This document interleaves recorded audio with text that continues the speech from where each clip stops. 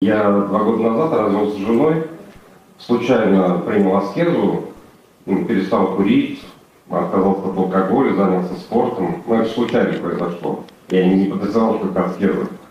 Потом через два месяца наткнулся на ваши лекции. тоже случайно. Тоже случайно. Прослушал их. То есть мне полегчало. Потом начал молиться, ходить в храм. За полгода очень поверил во все исповедовался постоянно. И в конце концов э, у меня была проблема, походу я не мог отпустить э, свою жену ну, из мысли, что она ушла. Мне понадобилось это, наверное, два года, чтобы отпустить. Буквально вот две недели назад я последний, как возможность, отпустил ее. Мой хороший, вот насчет тещи хочу сказать. Невозможно отпустить человека. Любовь – это не забыть. Любовь не отпустить. Любовь не поменять. Любовь означает только служить. Любовь человеку означает помнить о Боге, помнить о Боге и эту память в качестве благодарности отдавать человеку. Хоть он ушел вот как теща ушла из жизни, сказав мне самые добрые, любимые слова на свете. Хоть так она ушла из жизни. Хоть она ушла из жизни, э, допустим, или ушел, как э, жена ушла и, и со скандалом. Расставание одинаково должно нами восприниматься. Надо помнить о Боге и человеку отдавать светлую память вот свою светлую память о Боге дарить человеку. И когда ты даришь человеку, то Бог тебя пускает дальше в следующую жизнь. Вот это вот ощущение, что меня не отпускают, означает долг, должок. И бывает должок хороший, бывает плохой, но разницы нет. Я одно могу вам сказать, самый главный мой урок заключается в том, что когда слезы наворачивались мне на глаза, то ей там было плохо. А когда в моем сердце кипела сила, радость и чистота, ей было хорошо. Поэтому, когда уходят близкие люди, не думайте о себе. Славьте Господа, отдавайте им свою силу. И не будьте скупцами, потому что человеку нужна помощь в это время. И эта помощь означает ваша душевная сила, а не ваши сопли, слезы. Понимаете, ваша душевная сила нужна человеку. Вот этим занимайтесь. И тогда вечно останетесь вместе. Настоящий друг — это тот, кто последнюю секунду отдает самое лучшее, что у него есть. Это память о Боге. Это самое лучшее, больше лучше у нас ничего нет в этом мире. Вот отдавайте память о Боге, а не свои сопли. А, вот что надо отдавать. И то же самое вашей жене, если вы вспоминаете, отдавайте ей память о Боге. Я просто молился за нее, и чем я больше молился, тем она больше меня ненавидела. Ну ничего страшного. Должен же кто-то нас ненавидеть. Ну, поненавидела чуть-чуть, ничего страшного. Она имеет право. Спасибо. Коржовский. Ладно.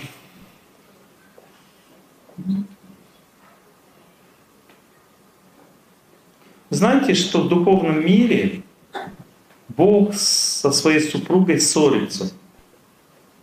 Вы знаете об этом? Слышали хоть когда-нибудь? Ничего об этом не знаете? И вот эта ссора между Богом и супругой — это самая высшая кульминация любви вообще. Вот просто нежные, ласковые, добрые слова — это не кульминация любви. Кульминация любви, когда они в разлуке и обиделись друг на друга. Нам это понять невозможно, потому что они по-другому обижаются. Они, это называется духовный транс. Это высшее проявление чувств любви. Но у нас, у людей, тоже иногда возникают такие эмоции. Дорогие друзья, хочу вам сказать, что очень важно подписаться на мой официальный канал в YouTube, поставить лайк, комментарий, задать вопрос. Мои помощники обязательно ответят вам. А также очень важно поделиться этими лекциями с другими людьми, потому что таким образом вы поможете мне в распространении знаний по всему миру. Здравствуйте, большое. А, у меня вопрос такой, вот, эм, ну, во, время развода у меня четко было понимание, ну, вот, э, молиться за целостность семьи, и как бы этот период э, прошел. А вот э, сейчас меня постоянно раздергивает в таком плане, что вот я понимаю, что с отцом нехорошо, и я хочу за него молиться. У меня мать ушла из жизни, и у меня как бы есть такое чувство, что нее тоже надо молиться. У меня есть дочь, которая в подростковом с ней плохо, и как бы я чувствую, с ней можно молиться.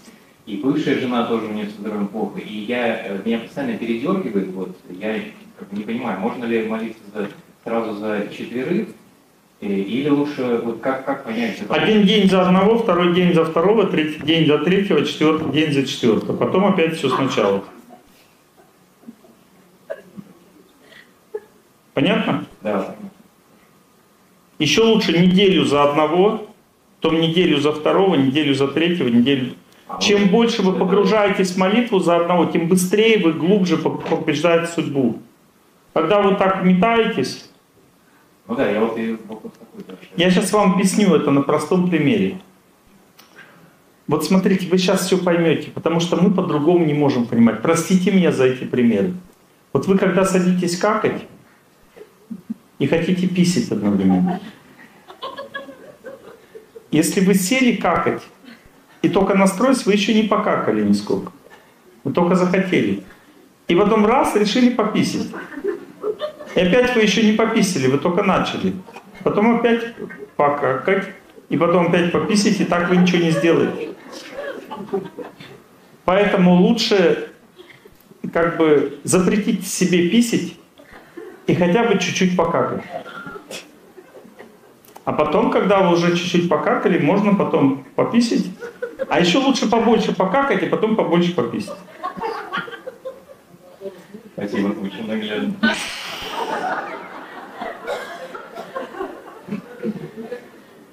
Точно так же молитва.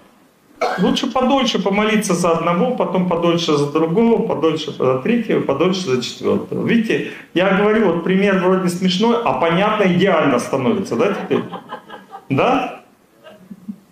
Потому что все в этой ситуации были и знают, что надо просто сначала одно дело сделать, потом второе, и все нормально тогда будет. Можно еще задать вопрос такой, может быть, он для многих будет актуален. Я замечаю, что утром после аскезы, после 65 минут, а, очень ну, часто чувствую себя, ну, нужно силы восстановить. Чуть-чуть полежать, отдохнуть. Нормально. Всегда нормальная жизнь человека, она связана с сильным преданием и хорошим отдыхом. Предались, отдохнули, предались, отдохнули. Отлично, вот так надо жить. Не бойтесь отдыхать. Чем старше человек, тем сильнее ему придется отдыхать больше. Когда он выкладывается. А вот именно разрешаете ли вы именно поспать минут 20? Вам нет, всем остальным разрешаю. Шучу, шучу. Почему я должен вам запрещать? Конечно, надо отдохнуть, поспать минут 20. Вы заслужили. 65 минут молились, нормально, чуть поспать, отлично. Кто-то отдыхает, когда он спит, кто-то прогулочку там на свежем воздухе. У каждого свой отдых. Все, все пописали или нет? Продолжаю настройку. Теперь следующее. Сам процесс будет длиться 65 минут. Почему 65 минут? Сейчас объясню. Это технический момент, связан с нашим психическим телом, а наше психическое тело напрямую связано с судьбой. Понимаете? Судьба действует через него, ничего не сделаешь.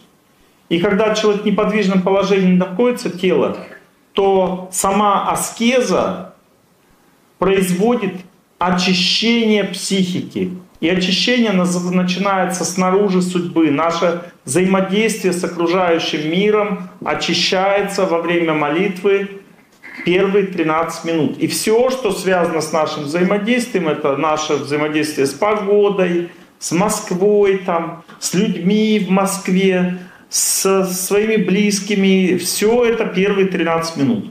Просто сама возможность взаимодействовать, потому что иногда люди просто не могут взаимодействовать. Надо подальше быть друг от друга. Они не могут на улицу выйти, не могут на работу пойти. Первые 13 минут. Потом наши эмоциональные отношения, эмоции.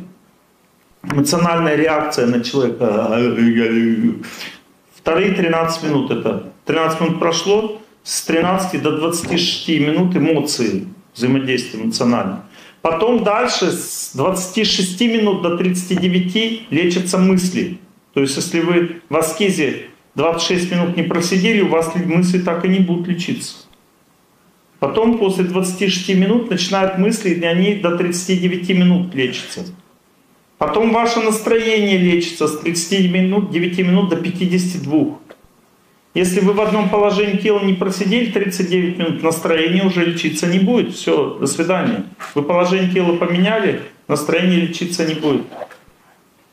И ваше глубокое ощущение от жизни, ваши вредные привычки, ваши цели в жизни, ваши глубокие ощущения счастья, там все это находится от 52 минут до 65 в самом конце.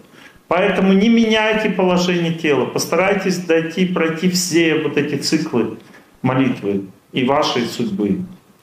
Хорошо? Решили? Теперь звук. Это самое главное. Вот смотрите, а, звук очень сильно связан с памятью. Память — это самое главное, что существует в этом мире. Вот как вы думаете, как я со своей тещей связывался, когда она ушла настолько далеко от земли, что вы даже себе представить не можете. Я не могу вам сказать, сколько это сотен тысяч километров, десятков тысяч километров. В километрах не могу описать, потому что это другая галактика, там это вообще, ну, для нас это непостижимое расстояние просто. Вот на тонком плане это по-другому воспринимается, и я с помощью памяти с ней контактировал. Представляете, память это какая крутая вещь вообще, память. Если ты не можешь правильно память свою оформить, ты не можешь чувствовать человека, ты не можешь его понять, ты не можешь ему ничего передать. Вот у меня, когда теща ее вдруг все узнали, что она ушла из жизни. Я ее увидел, она стоит и плачет на тонком плане, плачет, расстается, плачет, разлуки находится. И я ее успокаивал памятью своей. Я настроился на нее, взял вот эту ее психику в себя и начал думать о Боге и ей отдавать эти мысли. И памятью она раз, постепенно, раз, раз, раз, легче стало. Постепенно начало становиться легче. Успокоилась она. А сейчас она такая счастливая, она видит всю эту красоту этой планеты. Я когда о ней думаю, память ей свою посылаю, она принимает мою память, но не может оторваться от этой красоты. Она как, ай, погоди, погоди, Олег, сейчас, нет, такая красота. Она не может оторваться, и так там интересно все, то, что она увидела, новую жизнь свою. Память это самое главное. И вот смотрите, память о Боге включается, когда мы слушаем тех, кто молится. Вот кажется, что мы слушаем. Да, я слушаю, там и сюда, я слушаю. Слушание бывает разным. Можно очень сильно погрузиться в слушание. Понимаете, прям вот, вот есть этот звук, который вот молитвы или общий звук зала. Есть просто его съесть, вот погрузиться очень сильно. Слушание означает ням-ням. Понятно? Нет? Вот как вы кушаете пироженку, так же надо кушать звук. Надо его поглощать в себя, есть.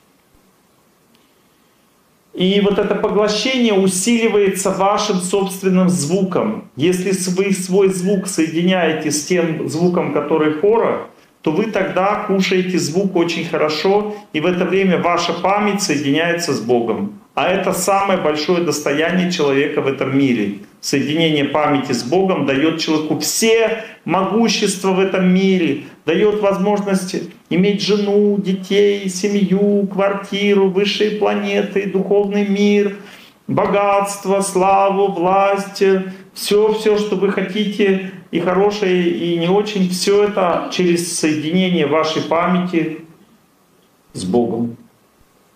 происходит через тех, кто молится.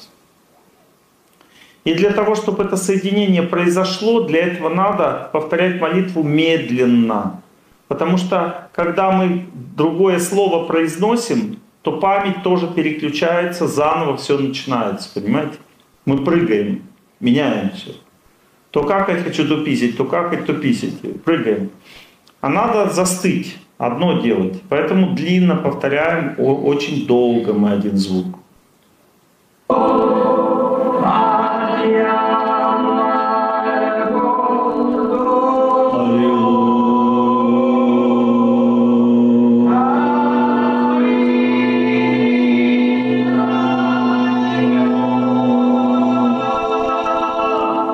О чем я думал сейчас? О Боге. Не совсем. Кто еще какие сделает мысли, идеи? О себе. Ну, конечно, я постоянно думаю только о себе. Так, о ком я думал? А? О тех, кто молится. Нет, А учителя? нет, О тех, кто молится. нет, О проблеме. нет, О О близких. нет. О. А тех, кто поет, кто сказал? Хорошо, отлично. Как я думал о тех, кто поет, что я там думал? Нет, нет. Настроение тоже ближе. Вот то есть я думал о тех, кто поет, и я думал об эмоции, которые они испытывают. Вот э, об этом я думал. Попытайтесь это понять. Не о теще, не о себе, не о земле, не о мире. Я думал о тех, кто поет, и об эмоции, потому что в этой эмоции находится Бог. И именно о нем надо думать, мои хорошие, больше ни о чем. Еще раз послушайте. И я как усиливал свою память? Как я делал так, чтобы я не оторвался от них? Как я это делал? С помощью своего звука, я своим звуком соединялся с их эмоцией, которую они произносят. Соединение происходило, вибрационное, камерто- камертоновое соединение. Понимаете? Одна вибрация с эмоцией, которую они произносят.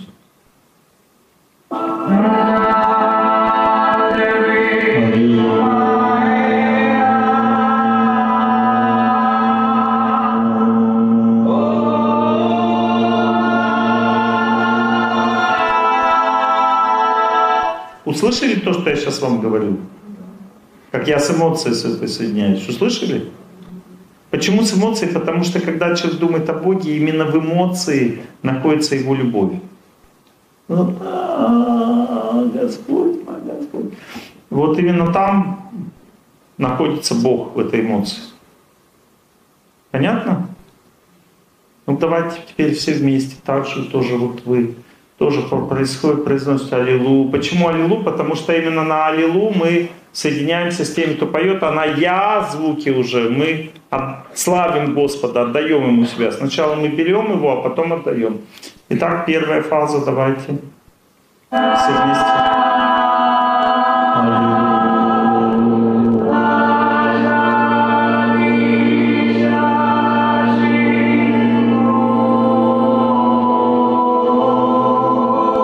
Теперь у меня к вам вопрос. А вам не вас не пугает эта эмоция? Вот вы начали такое сопротивление внутри, такое, блин, а что это я должна? Поднимите руку, кого пугает. Ну, честно. Вот, это означает борьба вашего желания думать о себе желанием думать о Боге. Понятно? Вот это надо пересилить, надо заставить себя болеть не своей болезнью. Потому что есть хорошие болезни, есть плохие. Хорошие болезни — это когда человек болеет Богом, а плохие болезни — это когда он болеет своим, своим дерьмом. Включили? Да? Забываться начали в Боге. Кто начал забываться в Боге? Вот погружаться в эту эмоцию, как в океан. Вот это и есть, называется концентрация на молитве. В это время человек может оторваться от себя. Теперь у меня вопрос, кто вот это аллилу? И вот тут что-то как-то очень спокойно стало. Понимаете, у кого так произошло? Вот это называется результат отрыва от себя, там уже результат начал появляться. Какой результат? Победа над судьбой. У вас Бог начал менять вашу жизнь. Вот это спокойствие от этого происходит. И это первый самый эффект, очень сильное умиротворение внутри. Значит, Бог меняет вашу жизнь. И потом дальше все пойдет везде, везде. Все изменяться будет. Теперь произносим «я». Звук «я» — это не значит «я». Это просто похожие звуки. Звук «я» наоборот «он». То есть «я» — это звук в данном случае благодарности. Аллилуйя, мы погружаемся в Бога. Я, то есть, спасибо тебе. У меня супруга сказала, знаешь, что самое главное я поняла? Я поняла, когда мама ушла, что я не умею любить. Я не умею быть благодарной. И, это, и за это я скорблю. Я говорю, а ты не скорби, а прямо сейчас будь благодарный, потому что скорбят те, кто даже в эту минуту не хотят быть благодарными. Скорбь означает лень души. Возьми прямо сейчас отдай то, что ты не додала раньше. Вот это называется молитва об ушедших. Прямо сейчас отдай, прямо сейчас будь благодарный, прямо сейчас настройся смело и сильно в своем сердце. И пом поможет тебе звук тех, кто молится. Благодарность означает благодарность. По-другому никак это не назовешь.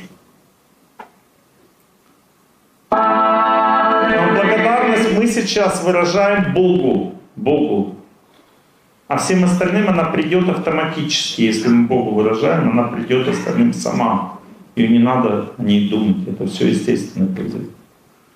Потому что когда мы выражаем Богу, то тогда благодарность вырабатывается настоящая у нас. Чистая. Это очищает нашу благодарность в мысли о Боге.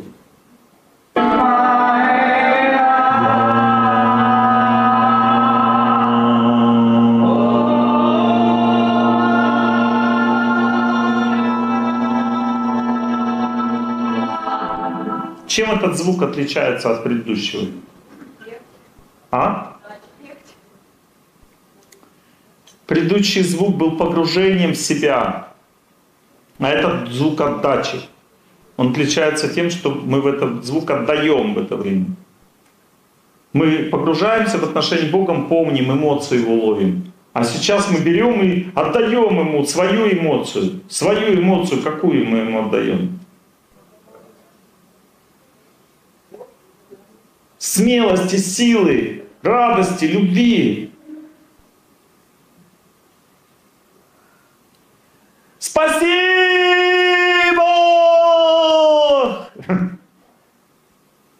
Благодарим. Благо дарю.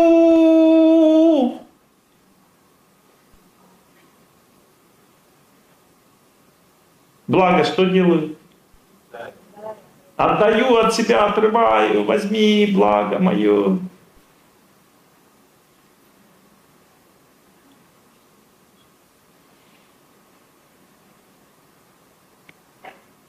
У нас наша, наша жизнь, наше ощущение себя называется иго.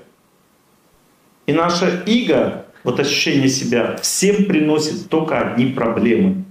Потому что наше иго — это и есть то, что мы должны победить в этом мире.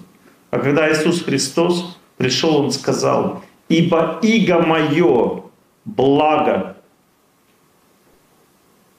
Почему иго мое благо? Потому что у него нет нашего, как у нас, иго. У него нет эгоизма. У него есть только бескорыстие в сердце. Только бескорыстие у Бога. И он говорит, иго мое благо. Ты рядом со мной стоишь, ты не почувствуешь от меня зла, как от человека, от любого. Приближаясь ко мне, ты не получишь боль, как приближаешься к человеку. Иго мое благо. А бремя мое легко, твое бремя тяжело, а мое бремя легко, хоть я решу на кресте. Он говорит. Почему легко? Потому что нет у него грехов, нет никакого бремени, есть только благодать. И как вам почувствовать эту благодать? Как вы можете ее почувствовать? Вы можете ее почувствовать только одним способом. Вы можете ее почувствовать, если вы ему чего-то пожелаете, а он в ответ вам улыбнется. И вот через его улыбку вы почувствуете его иго и премия, и получите милость в радость. Радость получите бесконечную. Поэтому мы и благодарим Господа. Счастье! Спасибо тебе! И он такой, вот молодец, какой как старается, и улыбается нам. И начинаются отношения с Богом с этого момента. Отношения с Богом. Мы улыбку Господа в сердце в своем чувствуем. Он прямо в сердце улыбается, потому что Он там живет. Прямо в сердце улыбается у нас. А, так раз сердце. Кто почувствовал, что нет у вас никакой благодарности? Поднимите руку. Это хорошая мысль. Но надо все равно сказать, нет, есть.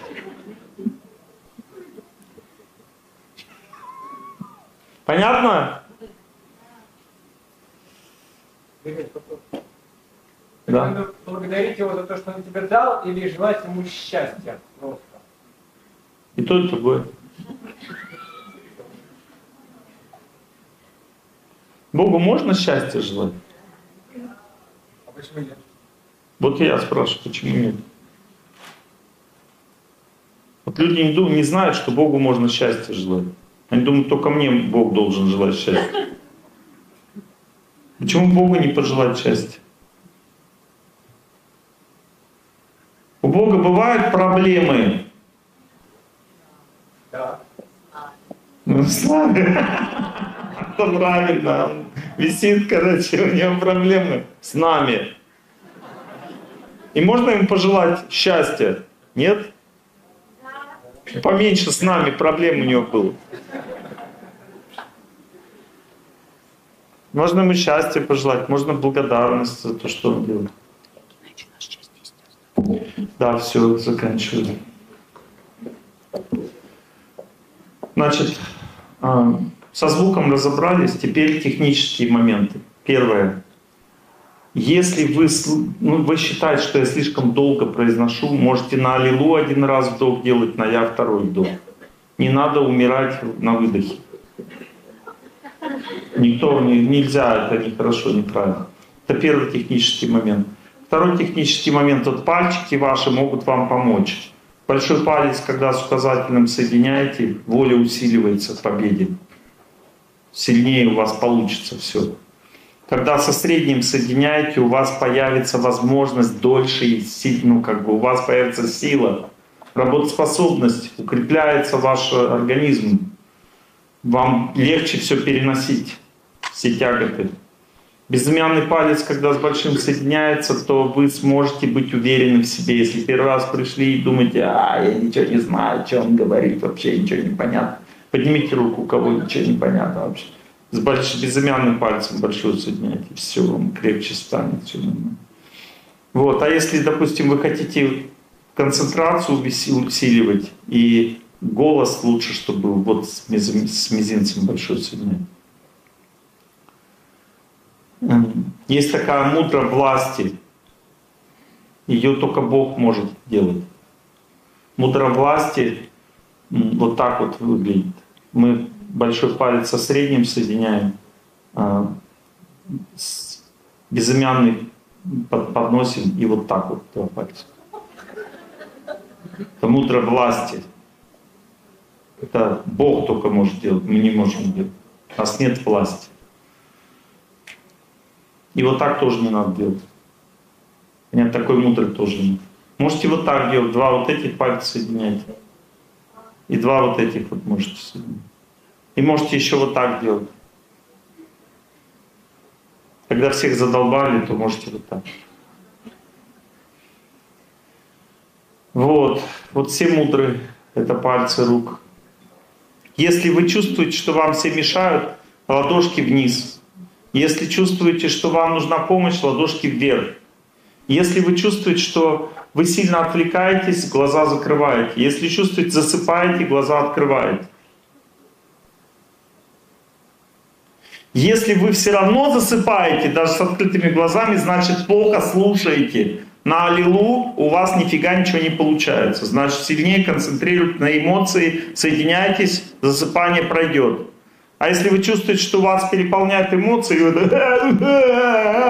значит, в это время вы плохо отдаете. На я вы не благодарите Бога, а думайте о себе в это время. То есть вы энергию получаете и не отдаете, и поэтому эмоции вас переполняют. И вы думаете, я, блин, так молюсь классно. Ничего ты не классно молишься, ты сидишь, думаешь о себе все время. Если у вас там ангелы появятся, начнут петь как птицы, и как бы все откроется, небеса вам, то все равно слушайте и отдавайте. Понятно? Если вы о небесах начнете думать, молитва закончится, и небеса закончатся. А если будете молиться дальше, то небеса никуда не убегут. Понятно? На прелести, когда вы купились, перестали служить Богу, то все закончится. Когда вы молитесь, не трогайте никого. Дотронетесь до кого-то, человеку будет плохо. Садитесь так, чтобы ни, никак друг друга не трогать. Вот. И если вам станет плохо, то опускайтесь на пол, расслабляйтесь какое-то время, не уходите из зала. И потом продолжайте опять. И еще я сильно вас всех прошу, очень сильно – пожалуйста, не молчите здесь. Не думайте, что если вы будете сидеть молчать, то вы себе и другим благо принесете. Вы будете всем мешать, потому что у вас будет неправильное настроение. Надо кукарекать. Произносить надо, понятно? И не надо молитвы другие произносить. Мы только Аллилуйя все вместе произносим, больше ничего. Не гордитесь собой. Учитесь вот все делать так, как по правилам, как мы все вместе делаем.